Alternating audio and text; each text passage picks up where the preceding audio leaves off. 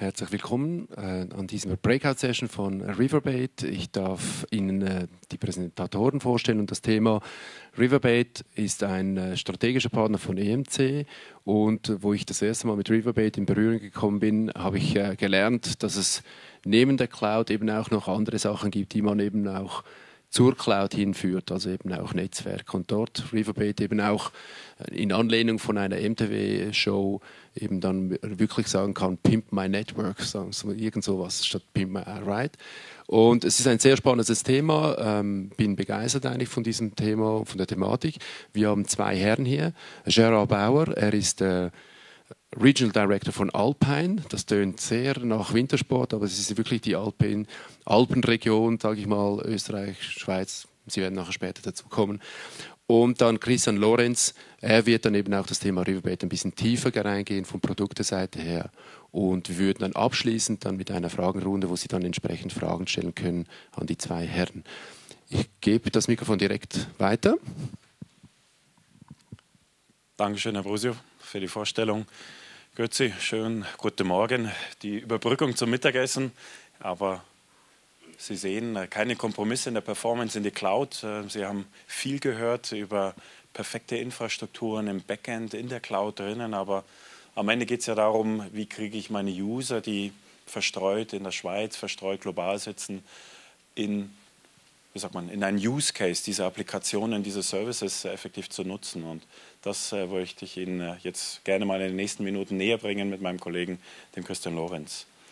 Ähm, stellen Sie sich einfach mal vor, wenn es möglich wäre, dass ich meine Applikationen, meine Services, meine Backups, meine Archivlösung, meine Replizierung ähm, von großen EMC-Storage-Systemen um bis zu 100 Mal schneller abwickeln kann es wäre auf einmal möglich, wirklich stärker noch zu konsolidieren, ein globales Rechenzentrum, eine globale SAP-Instanz, eine globale Archiv-Backup-Infrastruktur zu fahren oder eben den nächsten Schritt in eine Cloud zu gehen und gewisse Services auszulagern.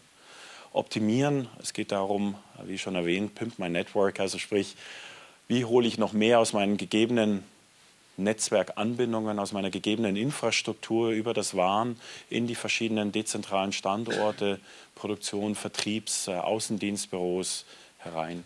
Leverage, ähm, wie, wie bin ich in der Lage, mit meinen getätigten Investitionen noch mehr, noch mehr Kosteneinsparungen oder längerfristig noch in einer sehr anspruchsvollen, dynamisch wachsenden IT-Umgebung zu arbeiten.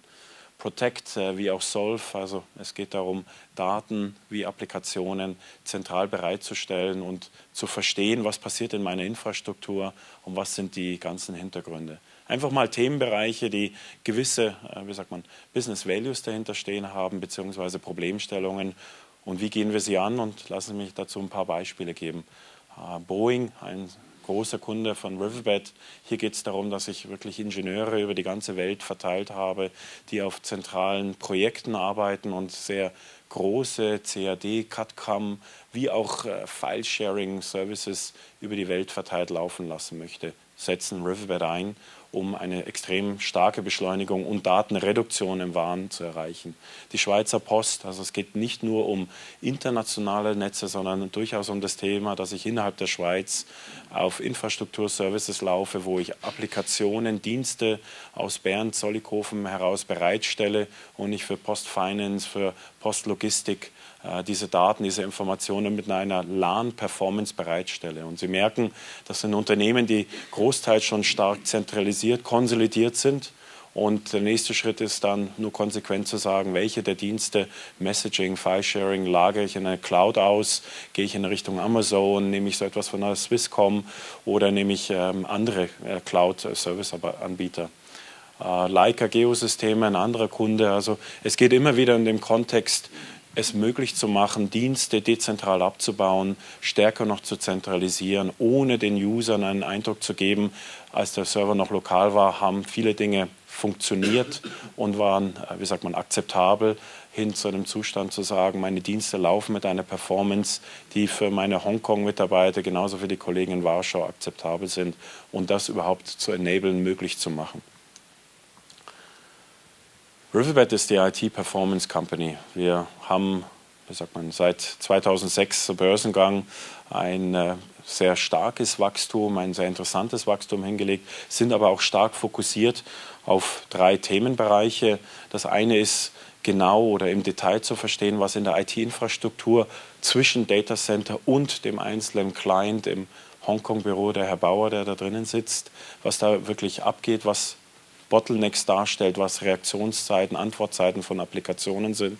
Es geht darum, Dinge dann zu optimieren, die über diese Strecken bereitgestellt werden. Wie kommen Daten schneller? Wie kann ich meine Replizierungen, meine Spiegelungen schnell über meine gegebenen Warnstrecken fahren? Weil ich effektiv immer das Problem habe, dass die Latenz, das heißt die Physik, die hunderte oder tausende Kilometer an Distanz den Bottleneck darstellen. Und der dritte Bereich ist wirklich ein Enabling, eine Bereitstellung einer Technologie Ihnen zur Hand zu geben, mit EMC zusammen, ähm, dass solche Dinge überhaupt erst möglich werden und dass das ganze Thema ja, fliegt, möglich ist und von den Usern entsprechend akzeptiert wird. Ähm, hier einfach mal eine Übersicht von Forrester zu Themen in den kommenden zwölf Monaten aus einer Unternehmensbefragung heraus. Was sind die Top-Themen, was sind die Bereiche, wo sich die IT beschäftigt und ich nehme an, einige Themen Ihnen durchaus äh, sehr relevant bekannt. Äh, es geht immer wieder darum, das Gegebene, die globale Operation effizienter, produktiver und einen schnellen ROI, Return of Investment, zu realisieren. Und genau das sind die Bereiche, wo wir darauf ansetzen. Also stärker noch in die Thematik Konsolidierung eintreten zu können, im Bereich Disaster Recovery meine Spiegel, meine Business Continuity, Architekturen und Strategie auch auf wahren, ähm, wie sagt man, Architekturen abbilden zu können und nicht nur innerhalb einer Stadt über einen Dark Fiber das zu fahren, sondern durchaus vorstellbar, dass ich das über Kontinente fahre. Mobility, das Thema kommt mehr und mehr PDAs, äh, Laptops, äh, wie sagt man, äh, UMTS, äh, Services, also sprich Vertriebe, Servicepunkte sind viel mehr draußen bei den Kunden und ich habe effektiv Einsatz den Einsatz meiner IT, der nicht nur sich auf einen physikalischen Standort bezieht, sondern User begleitet, die auf Reisen im Vertrieb unterwegs sind oder im Management international in zwischen Meetings pendeln. Und hier effektiv eine Möglichkeit zu haben, eine Performance, eine starke Beschleunigung, eine starke Optimierung dieser Services zu erreichen. Und dazu gehen wir dann später noch im Detail ein. Ähm, vielleicht noch, wer sind wir? international Headquarter San Francisco bzw. Singapur. Ähm, die Schweizer, wir sitzen in Zürich. Äh, wir arbeiten eben über unsere starken Partner wie hier eben C und ähm, fahren mit ihnen zusammen auf der Technologie, haben dann aber miteinander im Bereich Consulting, Implementierung, Rollouts die Möglichkeiten, mit unseren Partnern zusammen solche Projekte bei ihnen zu stemmen. Heute mehr als 9000 Kunden setzen Riverbed ein, mehr als 100.000 Appliances geschippt. Ähm, in der Schweiz von den größten zehn setzen acht äh, bereits Riverbed ein im Bereich Weitverkehrsstrecken. Ähm, aber das Thema stellt sich natürlich ganz klar auch für Mittelstand, KMU, äh, wo wir Unternehmen wie eine Geberit, Phonak, äh, Huber und Suna, ähm, Richemont, äh, die Riverbed zum Beispiel einsetzen im Kontext Konsolidierung und erhöhter IT-Performance. Gut, ein kurzer Überblick und dann gehen wir hinein, wie das Ganze überhaupt funktionieren kann. Äh, das heißt, hier auf dem Slide sehen Sie effektiv das gesamte Portfolio von Riverbed und wie wir diese verschiedenen Aspekte, die vorher dargestellt wurden, effektiv im technologischen Ansatz angehen. Das eine ist oben rechts äh, klassisch Data Center Operation. Das heißt, die Riverbed-Lösung ist erstmal dual-ended im Bereich Optimierung. Ich brauche ein Backend, so quasi in meinem Rechenzentrum, da wo die Applikationen bereitgestellt werden. Und dann oben links äh, geht es schon los mit einem klassischen Branch Office, wo ich also das Thema hatte, dass ich lokale File-Server, Exchange-Server, ähm, äh, SharePoint-Services auf einen zentralen Standort umlegen möchte und effektiv das ganze Thema über das Waren bereitstellen möchte. Also Steelhead Appliances, wie die Appliances sich nennen, im Bereich Branch Office, äh, konnektiert mit dem Data Center. Es gibt keine Unterscheidung zwischen Core oder Edge Device, sondern die Steelheads optimieren untereinander, egal ob ich zwischen Standorten ähm, Datenaustausch betreibe oder zwischen Standorten und der Zentrale. Ein Level unten links weiter, also in der zweiten Kategorie, genau das, was angesprochen wurde, Mobile Client, also die Möglichkeit zu haben, die gleiche Funktionalität, die gleichen Möglichkeiten für Homeoffice-Arbeitsplätze für Außendienstmitarbeiter, die über 3G oder Wireless häufig arbeiten oder Roaming-User, die viel international unterwegs sind. Wiederum im Backend die gleichen Devices im Datacenter und jetzt die Flexibilität zu haben, dass ich sehr kleine Büros mit ein, zwei Arbeitsplätzen durchaus genauso beschleunigen kann mit den gleichen Parametern wie größere Außenstellen, diese Branch Offices zwischen 20 und 2000 User ähm, und die gleiche Funktion habe, ohne dass ich ein physikalisches Device rausstellen muss. Unten links dann das Thema, was sich hier in dem Rahmen sehr häufig immer wieder stellt, im Kontext Business Continuity, also DR, Recovery-Zeiten, wie fahre ich große Datenmengen, Terabytes an Informationen, auch incremental über Warnstrecken zwischen Kontinenten oder zwischen Rechenzentren. Und der gleiche Ansatz, wo ich im Office-Use Mitarbeitern, die Dokumente aus Shares holen, aus einem SharePoint-Service zum Beispiel holen von Microsoft, ähm, die Möglichkeit hier dann Terabytes, also Gigabytes an Informationen, die zwischen zwei Symmetric-Systemen, wenn ich jetzt SRDFA als Beispiel nehme oder MirrorView, äh, stark optimieren, stark beschleunigen können und hier diese Abgleiche erst möglich machen und nicht Backup-Konzepte nur lokal, regional abbilde, sondern ganz klar sagen kann, ich kann diese Rechenzentren über den Globus hier gegeneinander spiegeln und habe eine zentrale Stelle, wo ich dann auch mein Archiv und meine Auslagerung der Daten realisiere. Und dann unten rechts aus Ihrem äh, Gesichtsfeld das Thema Cloud. Also das, was Sie von uns sehen und bereits äh, nutzen können im Zusammenspiel mit der Amazon zusammen. Das heißt also Amazon Services gibt es ein, ein Cloud Riverbed Portal. Das heißt, ich habe die Möglichkeit von Amazon beschleunigte Dienste zu beziehen, wenn ich im Backend, wenn ich in meiner IPSS oder MPLS Infrastruktur effektiv Steelhead oder Riverbed-Infrastruktur Komponenten drinnen habe und habe damit wieder diesen End-to-End-Reach, um diese extreme Beschleunigung, starke Bandbreitenreduktion, gleichzeitig das Traffic Management über das WAN effektiv bereitstellen zu können. Also wir sind so quasi der Mittler zwischen dem klassischen Wiring, also der Konnektivität dieser Außenstellen und den Applikationen, die zentral bereitgestellt werden, um diese Dienste sehr viel flüssiger und ohne großen Impact auf meinen Waren, auf meine Bandbreitenutilisierung abbilden zu können. Das einfach mal als Übersicht. Die letzte äh, Komponente, die da oben rechts noch steht, im Violett, Cascade. Cascade gibt Ihnen effektiv die Möglichkeit, diese Infrastruktur zu monitoren, genauer zu verstehen.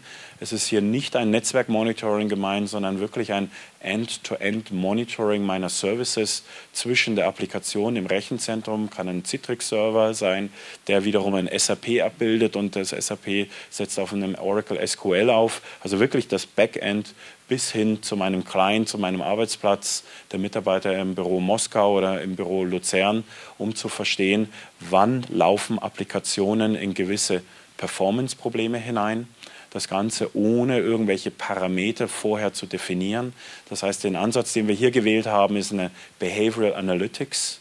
Das heißt also, das das Tool, die Lösung lernt, dass an einem Montagmorgen der Load und die Services ganz anders in meinem Netzwerk drinnen sind als an einem Donnerstagnachmittag oder an einem äh, Freitagmorgen. Also erstmal das Lernende und gleichzeitig in der Lage zu sein, wirklich zu verstehen, end-to-end, -end, wo habe ich Engpässe und ich erhalte eine Notification, habe aus der Information heraus die Möglichkeit, hier tiefer einzusteigen, um mir effektiv des, wie sagt man, den Schwachpunkt, den Bottleneck, ist es der Applikationsserver, ist es einer der Router, ist es ein Thema im LAN, wo der Client drinnen sitzt, um es genauso, genauer zu verstehen, darüber informiert zu sein und dementsprechend schnell eingreifen zu können.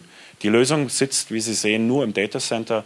Es ist nicht relevant, Probes in vielen Standorten draußen einzusetzen, sondern nur dort, wo die Applikationen bereitgestellt werden, sehen Sie, physikalisch, also die, die Riverbed-Lösung, von draußen holen wir uns von ihren gegebenen Switchen, Routern und anderen Devices einfach Flow-Informationen und mit denen sind wir in der Lage, dieses End-to-End-Visibilität abzubilden und dieses proaktive Alerting, wir nennen es Behavioral Analytics, also zu verstehen, wie ist das normale Benehmen meines Dienstes und sie darüber zu informieren, die Applikation hat gerade ein Issue in Warschau Oder hier habe ich einen Server in Shanghai, der an einem Samstagnachmittag von einem Client in Hongkong angegangen wird, was nicht zu meinem normalen Betrieb gehört und ich möchte darüber informiert werden und habe auch hier, wie sagt man, aus Security-Gesichtspunkten ähm, Möglichkeiten, meine Infrastruktur genauer zu verstehen und zu monitoren. Um dann, wie gesagt, auch in das Thema Optimierung einzusteigen und zu sagen, was bringt es mir für mein Buenos Aires, was bringt es mir für meine Außenstelle in Lausanne unten, eine Riverbed einzusetzen im klassischen Sinne Optimierung, weil ich mit dem Applikationsmix da draußen unterwegs bin und mit diesen Response-Zeiten bisher gerechnet habe. Das ist das größere Bild. Herr Lorenz gibt Ihnen jetzt die Bausteine, wie das überhaupt funktioniert und überhaupt möglich wird. Danke soweit. Naja, stimmt. Brauche ich doch nicht. Ich bin schon verkabelt. Danke, Gerard. Ich mache jetzt weiter ähm, und steige ein bisschen tiefer ein, eigentlich in, in der Technik und werde die drei Bereiche, die Gerard schon vorgestellt äh, hat, ähm, erläutern. Was machen wir denn im Bereich Understand, im Bereich Verstehen, im Bereich Optimierung und im Bereich ähm, Konsolidierung. Ich werde kurz mal die Lösung vorstellen und welche Produkte eigentlich dahinter stecken. Und sehr wichtig werde ich auch über Technologie sprechen, weil gestern haben wir ja noch ähm, einen Kunde an unserem Stand gehabt oder äh, ein, äh, ein Herr, der sich für unsere Lösung interessiert hat und ist zu uns gekommen und hat gefragt, wie läuft eigentlich das Ganze? Es ist ziemlich unreal. Sie sprechen von Beschleunigung von 20 Mal, 30, 50 Mal. Ja, das, das machen wir auch. Wir haben sehr, sehr viele Beispiele. Aber wie läuft das Ganze? Wenn wir äh, das äh, nur darstellen und wir haben unter, unter, auf unserer Webpage sehr, sehr viele Beispiele, die Leute verstehen nicht richtig, was steckt dahinter, welche Technologie werden die hier angewendet, um solche Optimierungsgrade zu erreichen. Also den Thema äh, Cascade und Visibilität, bevor man optimiert, muss man ein bisschen für das Netzwerk verstehen, muss man das WAN verstehen und dafür haben wir eigentlich ein Produkt, Cascade. Mit dem Produkt, mit dieser Lösung können wir letztendlich eine Visibilität, eine sogenannte Baseline herstellen und ähm, darstellen, wie eigentlich die verschiedenen, verschiedene Applikationen, die verschiedenen Anwendungen laufen. Hier zum Beispiel, Sie sehen oben ein SharePoint, ein Oracle-Database, äh, vielleicht noch ein Twiki, das auch interessant ist für die Kommunikation, interne Kommunikation.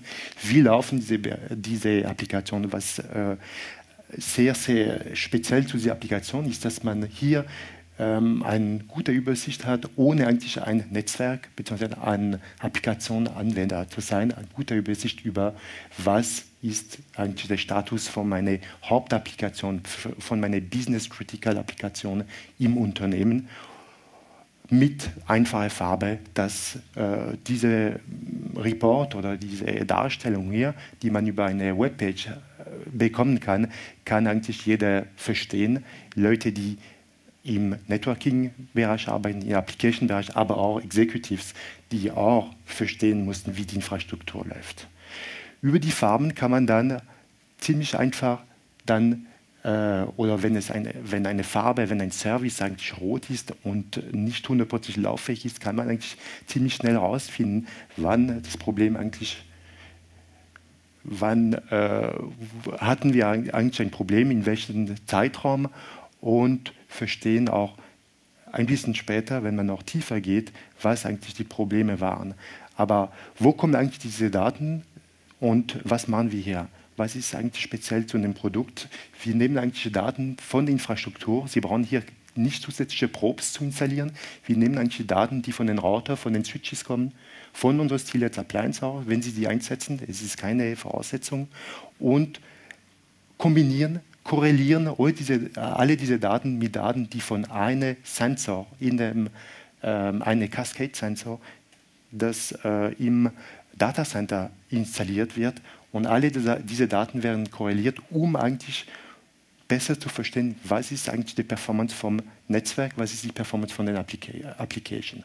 Und das ist eigentlich ähm, jetzt ganz, ganz speziell zu dem Produkt im Vergleich mit dem Produkt, die Sie vielleicht heute schon einsetzen. Dieses Produkt hat absolut alle Performance-Daten in äh, eine Oberfläche. Das heißt, Sie müssen jetzt nicht auf eine Network Performance Management Applikation gehen, auf eine Application Performance Management. Sie haben alles vereint und Sie können ziemlich schnell herausfinden, wo liegt das Problem bei der Networking, bei der Networking-Infrastruktur oder auf die Applikation und das heißt auch die Probleme schneller lösen. Hier, Sie finden ziemlich schnell aus, wann Sie ein Problem, wann hatten Sie ein Problem und dann können Sie eigentlich tiefer gehen und sehen, äh, welche Applikation hat ein Problem verursacht. Zum Beispiel SIFs in dem Beispiel, in dem Beispiel war es File-Sharing, zu viel ähm, SIFs-Daten auf eine bestimmte Leitung. Sie finden ziemlich schnell eigentlich von welchem Server, zu welchem Server oder von welchem Server kamen die Pakete und welche Benutzer eigentlich, eigentlich zuständig war und diese äh, Überutilization eigentlich verursacht hat. Und so können Sie letztendlich die Probleme wesentlich schneller lösen, wenn Sie in der Lage sind, äh, zeitnah die, äh, die Problematik an die richtige äh, Mannschaft, an den richtigen Spezialist weiterzugeben. Optimierung, da kommen wir her. Da, ähm, äh, in dem Bereich sind unsere ersten Produkte schon in 2003 auf den Markt gekommen. Und hier geht es um einfach um Beschleunigung von Applikationen um ähm, Bereitstellung von Applikationen an User und dies ähm, egal wo die sind, äh, in der Schweiz, vielleicht arbeiten die von zu Hause oder in Asien unterwegs, vielleicht in einer Geschäftsstelle in Südamerika, da können wir eigentlich alles, alle Applikationen, sehr, sehr viele Applikationen beschleunigen. Aber warum ist es so wichtig hier? Wir probieren eigentlich zwei Probleme die ähm, heute noch ziemlich gängig sind, auf der WAN zu lösen. Die zwei Probleme sind erstens Bandbreite.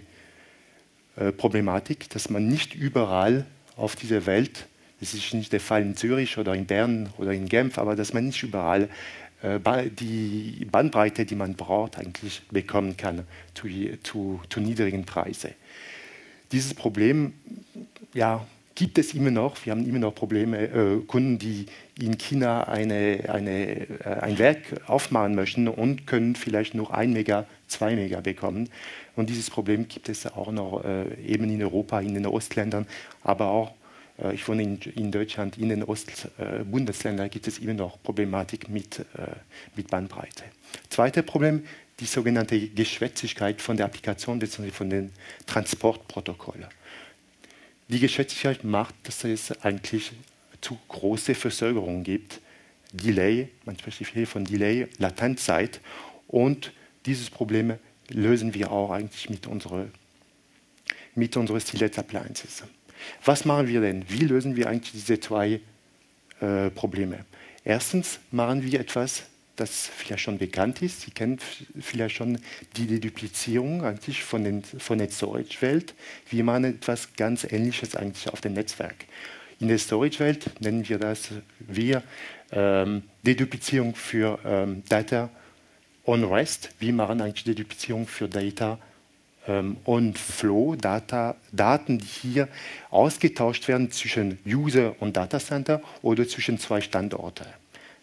Das heißt, wir deduplizieren alle Daten, die eigentlich ausgetauscht werden. Und das heißt, wenn zum Beispiel ein Riverbed-Logo wie hier oder sorry, ein XDays-Logo schon transportiert würde zwischen einem Standort und ein Datacenter, wird es nicht ein zweites Mal transportiert. Es würde schon einmal in ein Word-Dokument zum Beispiel transportiert.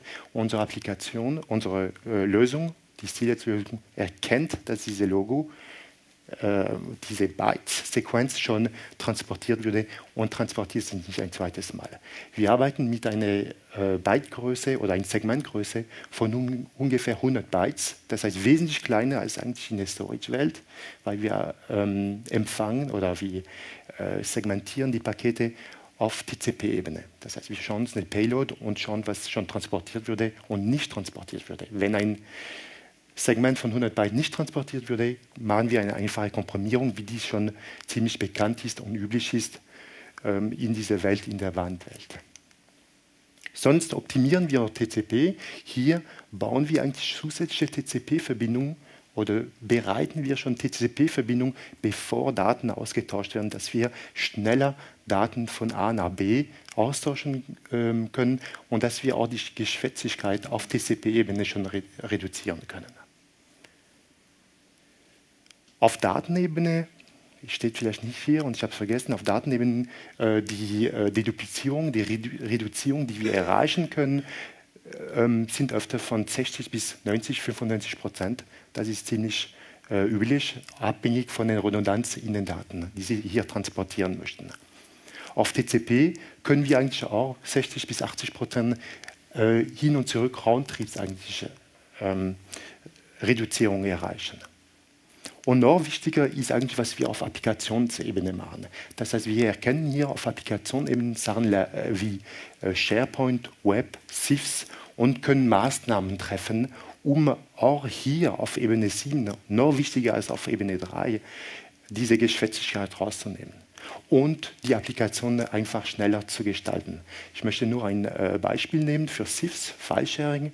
Wenn Sie äh, SharePoint benutzen oder ein einfaches File-Sharing äh, über Windows, werden Sie eigentlich, wenn ein User ähm, ein Dokument öffnet, wird eigentlich die Blöcke sequenziell gelesen.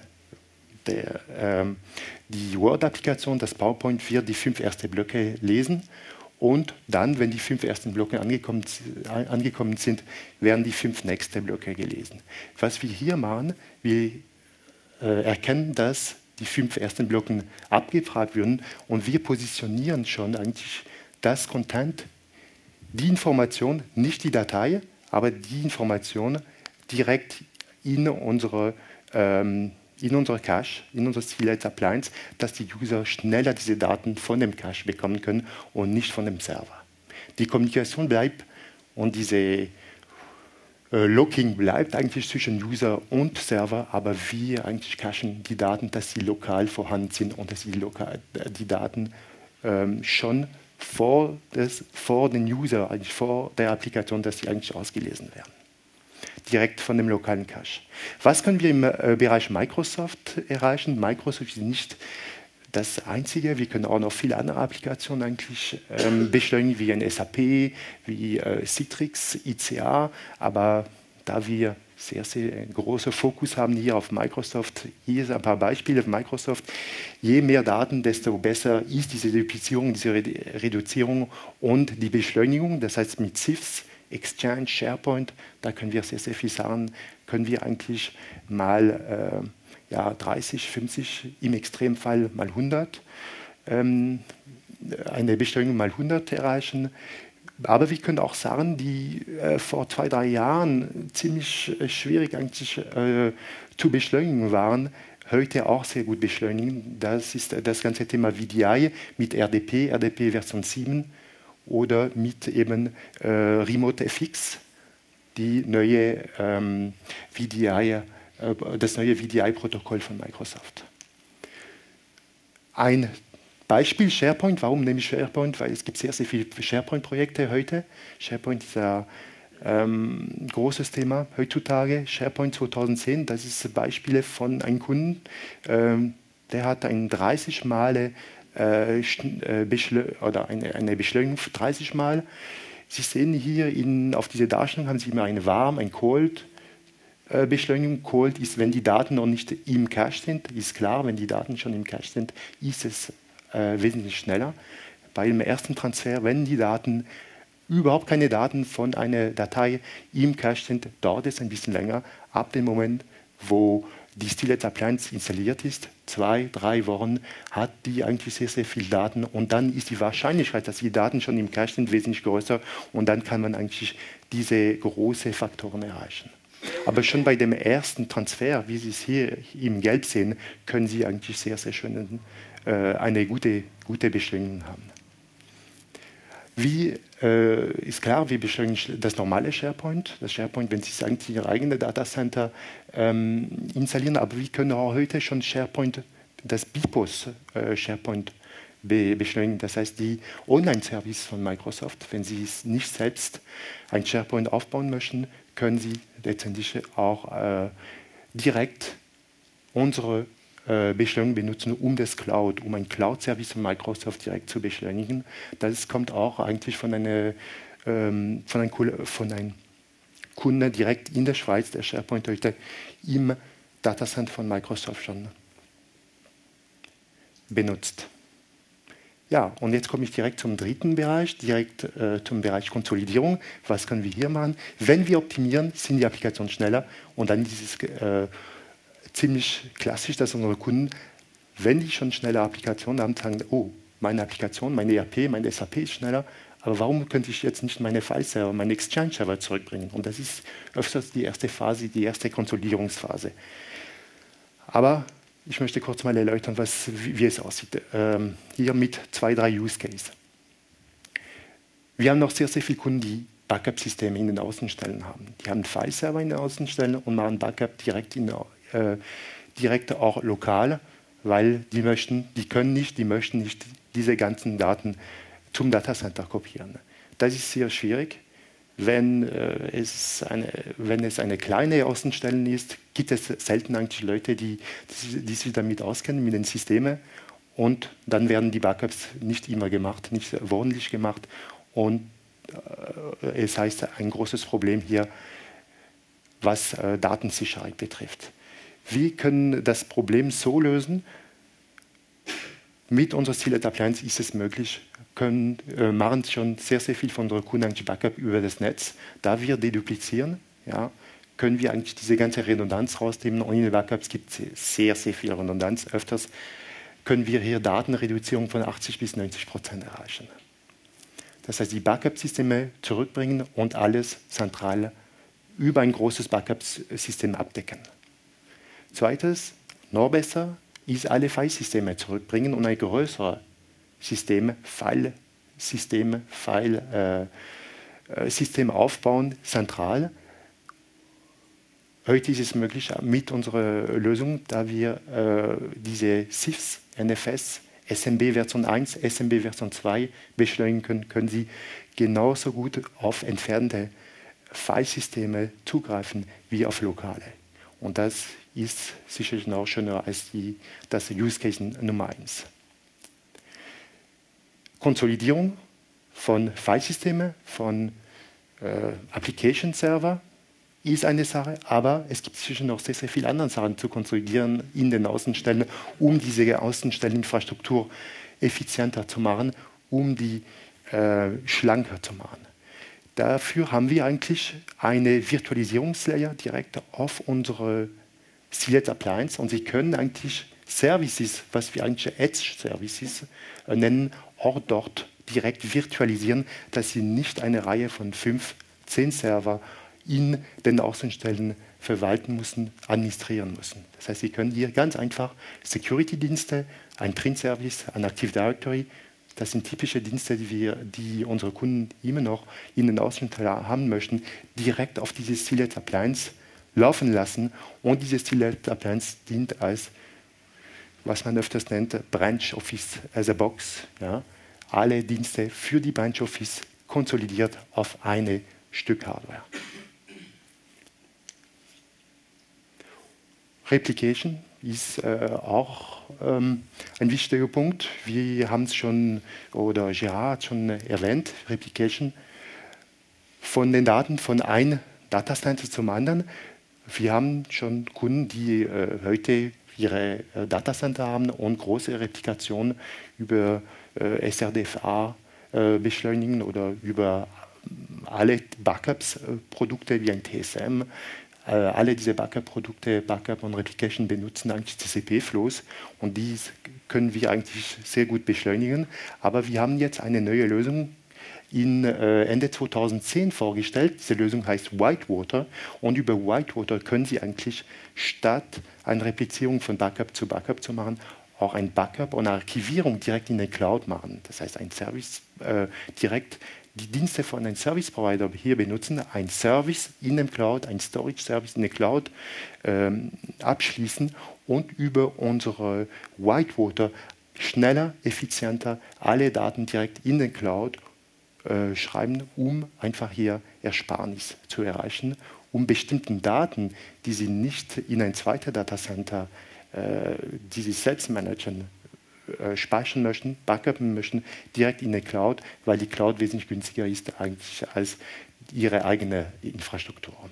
Was macht eigentlich diese Whitewater? Es ist eine Art Gateway to the Cloud. Das heißt, es setzt die äh, verschiedene Streams um, die SIFs, NFS, in äh, die SOAP-REST-Stream, das sind die Streams, die, wir, äh, die Protokolle, die eigentlich üblich sind für den Cloud.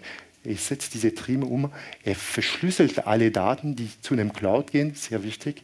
Er verschlüsselt die Daten äh, mit SSL und AES 256 und ähm, so ist und dedupliziert, Entschuldigung, sehr wichtig, und dedupliziert die Daten, dass nur einmal eigentlich jede äh, einzelne äh, Segment von 100 Bytes dort gespeichert wird. Und so sparen Sie auch eigentlich an dem Service dort direkt bei dem Cloud-Provider.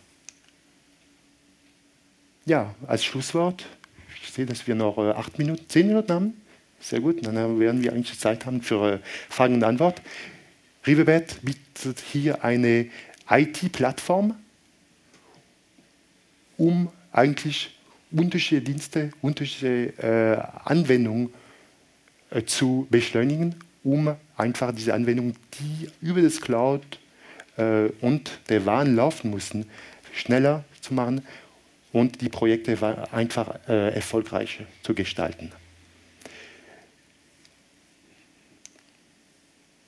Gibt es Fragen jetzt? Ja. Ja, möchtest du nach vorne hier kommen? Oder du? Ah ja, genau. Frage, wie handhaben Sie Video und Voice? Sehr gute Frage, danke. Wir haben nicht so viel über Video und Voice gesprochen, ja. Ähm, ich möchte die zwei eigentlich separat handeln. Äh, Voice, für Voice gibt es letztendlich sehr, sehr gute Codecs, ja, die J-Codecs, J 711, 723 und so weiter, die eigentlich Voice schon sehr gut ähm, komprimieren. Und Voice läuft über UDP. Wir kümmern uns hauptsächlich um TCP-Traffic und nicht UDP-Traffic. Das heißt, wir schaffen eigentlich Platz für Voice, dass sie letztendlich mehr Voice-Traffic hier transportieren können zwischen Standort A, Standort B oder A, B, C. Ja, es kann mehr als zwei Standorte sein. Was wir noch machen können, wir können eigentlich QoS machen, das heißt diese Voice-Traffic äh, priorisieren, wenn die äh, über unsere über unsere Appliance gehen, aber wir beschleunigen Voice nicht, weil es gibt eigentlich nicht so viel Beschleunigung äh, durchzuführen. Und die Deduplizierung würde sowieso sehr, sehr schwierig sein auf weil die, die Sprache wird immer anders eigentlich digitalisiert. Ja. Das ist Voice. Was Video betrifft, sieht es so aus, dass wir äh, Video, ja, es gibt unterschiedliche Arten von Video, aber hier arbeiten wir mit, mit Partnern, wie eine Polycom, um auch Video effizienter zu, in den Branch zu transportieren, in den Außenstellen zu transportieren. Das heißt, wir arbeiten mit äh, Polycom hier, um zum Beispiel für Streaming-Services, äh, um Streaming, äh, um ein Stream nur einmal bis zu Branch zu transportieren und dort an den Viewer über einen speziellen Agent, der auf unserer äh, auf unserer Sealed Appliance laufen kann, auch äh, zu, zu versplitten, ein Split dort lokal zu machen auf die verschiedenen Viewer. Dass es nicht vier, fünf bis zu zehn oder noch mehr äh, Streams gibt, die von den Data, vom Datacenter bis zu den Branch geht. Ja? Das heißt, hier können wir auch etwas machen und wir reduzieren die, äh, das Message ist, wir reduzieren immer alle anderen Applikationen, alle anderen Daten, dass sie letztendlich mehr Bandbreite haben für Video oder für Voice Calls.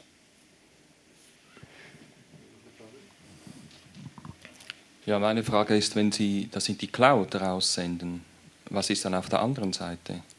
Kann, wie geht der Cloud-Provider mit Ihrer äh, Komprimierung um?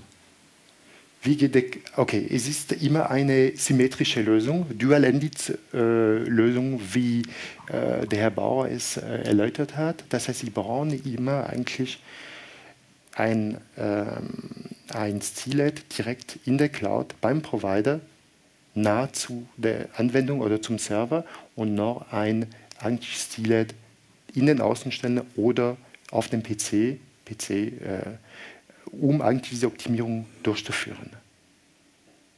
Ja, das heißt, es ist eine symmetrische Lösung und Sie bauen hier eigentlich äh, eine virtuelle Stilet in dem Cloud, um letztendlich diese Flow abzufangen, Deduplizierung dort zu machen mit einer Gegenseite, die eigentlich nah zu den User ist. Habe ich die Frage beantwortet? Ja, Christian, ja. Äh, lass, lassen Sie mich noch kurz äh, dazu fügen. Ich, ich, beantworte es in einem anderen Kontext. Äh, richtig, wir sind transparent, das heißt zwischen Client und Applikationsserver wird erstmal die Riverbed nicht gespürt. Jedoch setzt die Optimierung erst dann ein, wenn die Steelhead oder der TCP-Request auf der anderen Seite einen Peering-Partner gefunden hat. Das heißt, ich kann in meinem IPSS Swisscom-Netz oder mein MPLS der BT, wie auch immer, schon Riverbed einsetzen, habe aber ein Google Apps jetzt als Beispiel. In Google Apps gibt es heute noch nicht äh, einen, wie sagt man, Riverbed Cloud Steelhead. Das heißt, hier würde ich in meinem Intra-Private Cloud schön optimieren hin zur Richtung Google, habe ich nicht die Möglichkeiten. Umgekehrt, wenn ich BPOS D nehme äh, von Microsoft, wenn ich mir Amazon nehme, ähm, haben wir Möglichkeiten und sind wir bereits in den Clouds von Microsoft wie auch von Amazon integriert. Das heißt, da kommt noch mehr von uns. Äh, heute die Antwort so zu beantworten, kein Problem. Sie haben im Innenverhältnis die Optimierung in den Cloud-Provider, sofern er keinen Riverbed hat, gibt es kein Backend und damit keine Optimierung. Weitere Fragen noch an die zwei Herren?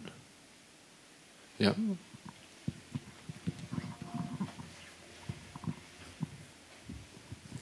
Danke. Meine Frage ist, wie positionieren Sie Ihre Produkte zu den Citrix-Produkten Netscaler und Branch Repeater? Danke für die Frage. Die habe ich auch gestern äh, gehabt an unserem Stand. Die kommt immer wieder. Ähm, Netscaler ist eigentlich Optimierung direkt im Datacenter.